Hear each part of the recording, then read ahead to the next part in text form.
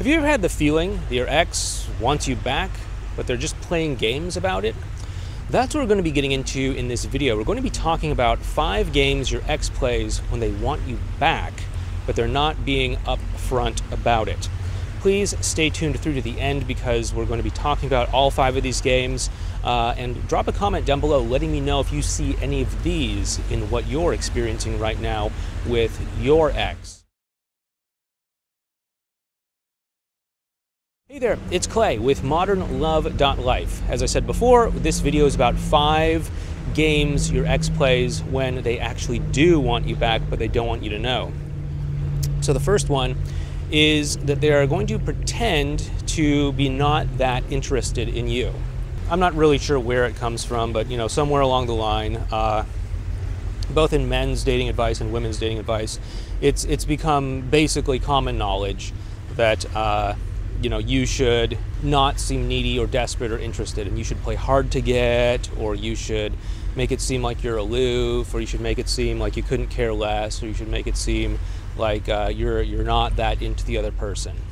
And you know, let's be honest, this is a mind game, right? Because you're feeling like up here, but you're trying to pretend that you actually feel down here, right? So uh, this this is probably one of the most common ones.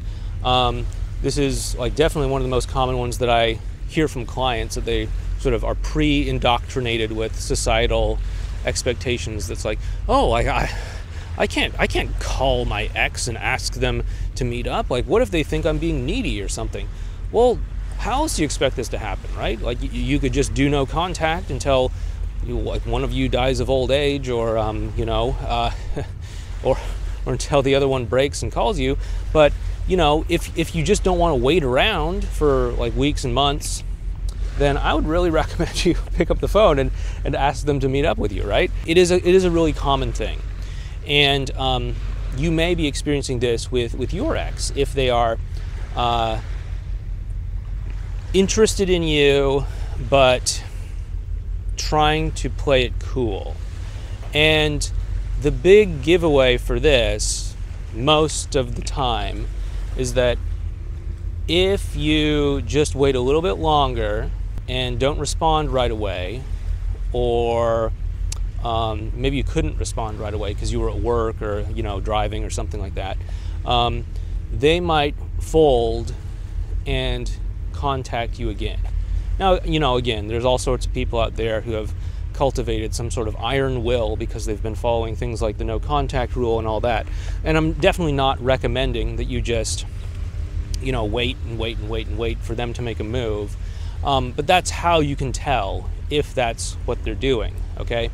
Uh, I don't want you to take the passive route, but if you're just, you know, living your life and can't get back to them for whatever reason, um, and they follow it up instead of just like letting it be, that's that's a big clue that they're playing this game of um, you know I'm not that interested in you. The second game is someone else is interested in me, and this is where they're trying to kind of play both games here the, the first game and then also the second one here because they want to inspire you to take some sort of action because they don't want to come right out and say, hey, I like you, hey, I want to be with you.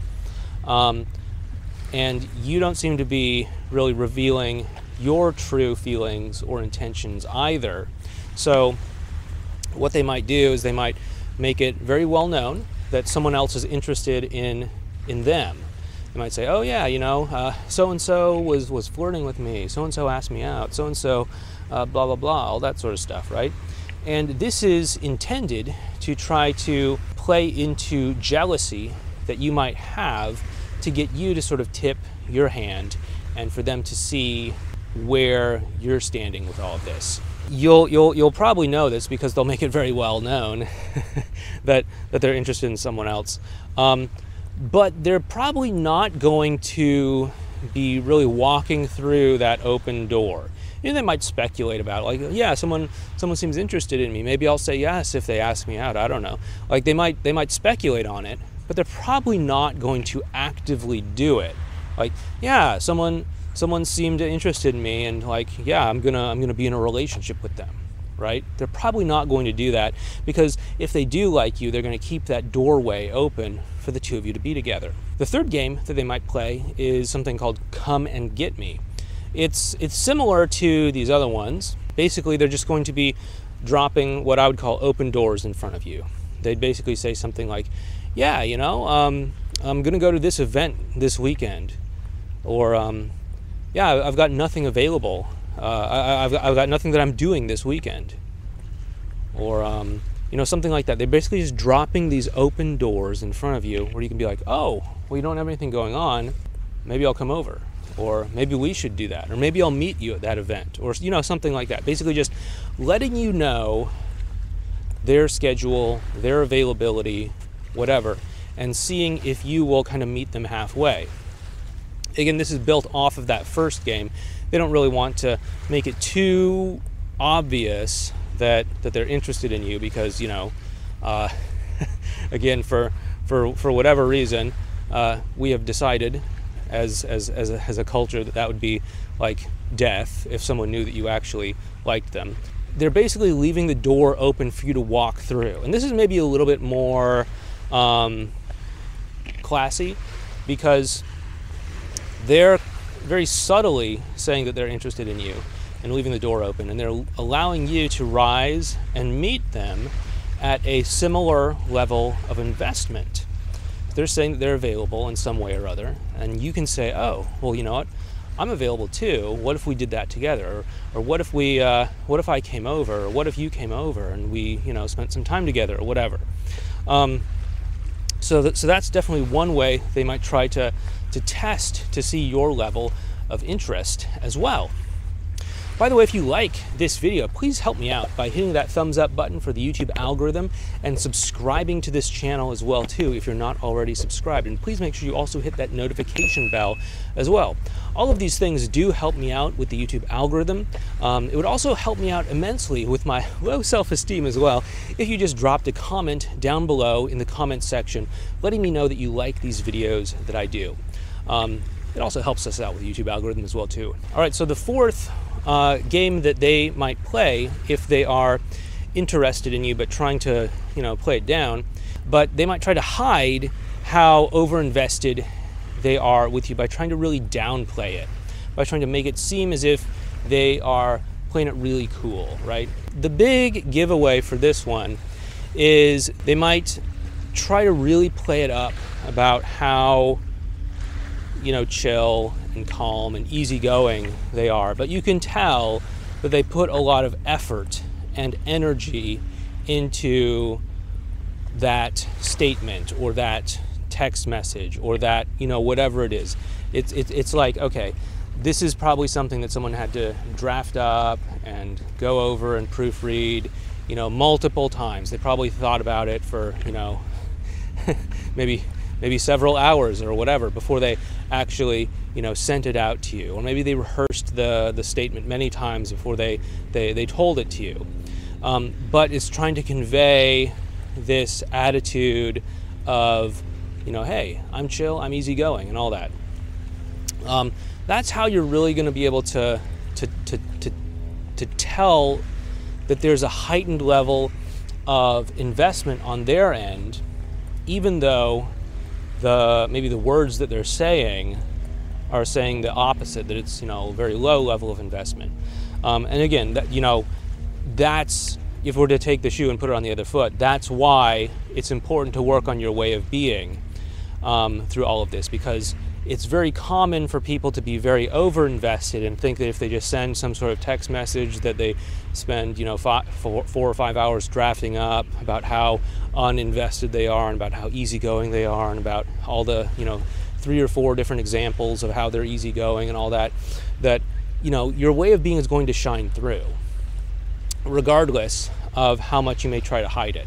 So the most powerful thing that you can do is to work on aligning yourself with that way of being that you want okay and and and by the way um, if you want some help with that we do have this uh, uh, subliminal recording that i made that you can listen to while you're sleeping and it's going to uh, put some affirmations into your subconscious mind while you are sleeping.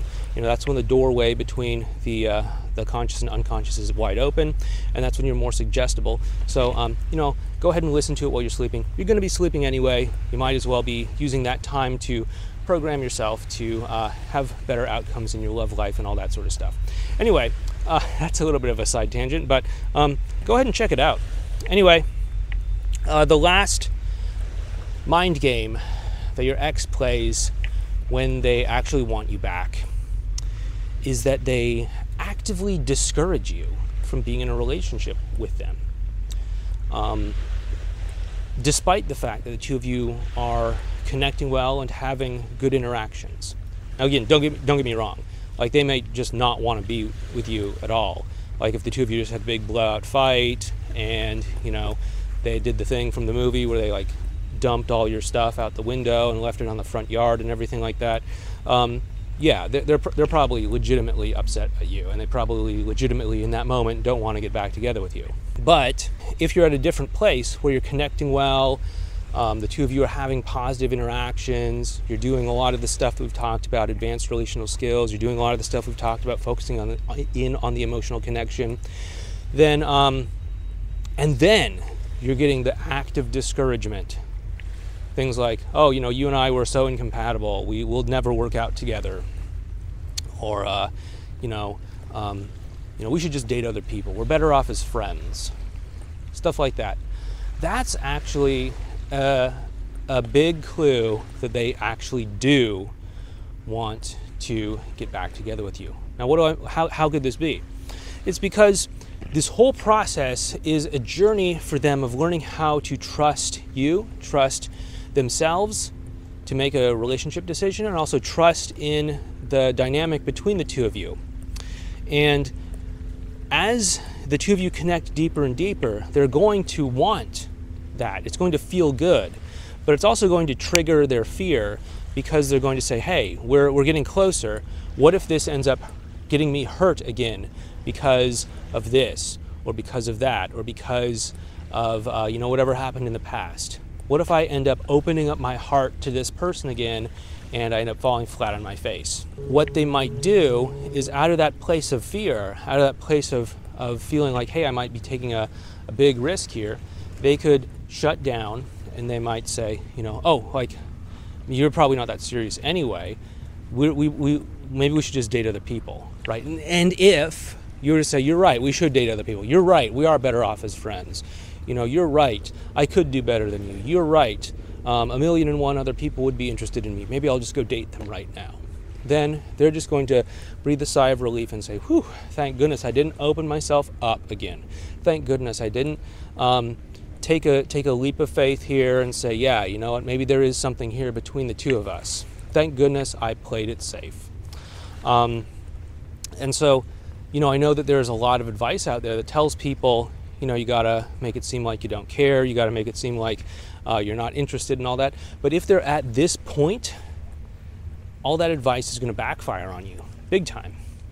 So, because they're looking for someone to to confirm to them that says, "Hey, you know, I know you're having a change of heart here, and I know it's hard, and I know it's risky, and I know it's a little bit scary, but you know what? I'm feeling the same way too. And if we're both in this together, then we can make this whole relationship and this whole dynamic work.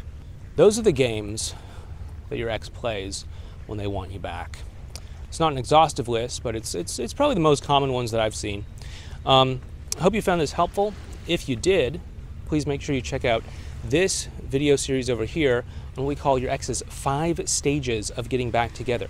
It's a um, very enlightening series that will let you understand your ex's emotional world and why they do the things that they do. With that being said, thanks so much. Take care, and I'll talk to you next time.